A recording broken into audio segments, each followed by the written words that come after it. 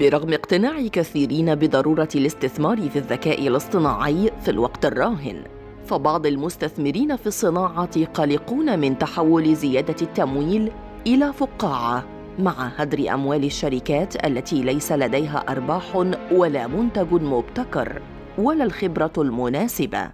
وعن مدى التأثير شهد سوق الأسهم في تايوان تخارج المستثمرين الأجانب بسرعة والتحول إلى بائعين لهذا العام مع تلاشي هوس الذكاء الاصطناعي.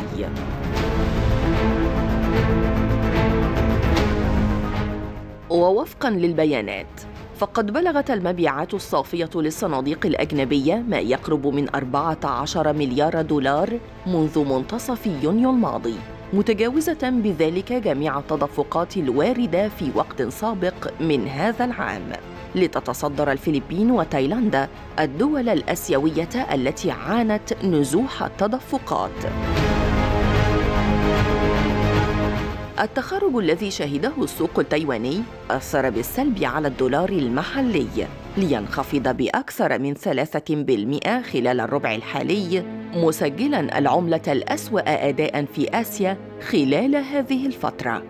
وفي جانب آخر حذر بنك أوف أمريكا من أن الذكاء الاصطناعي يعد حالياً فقاعة صغيرة تكررت في السابق. فتاريخيا دفع الصعود المستمر في أسعار أسهم شركات الإنترنت عام 1999 جنبا إلى جنب مع البيانات الاقتصادية القوية. بنك الاحتياطي الفيدرالي إلى بدء التجديد النقدي إلا أن الوقت الراهن يشهد بيانات اقتصادية ضعيفة مع سياسات نقدية تشددية.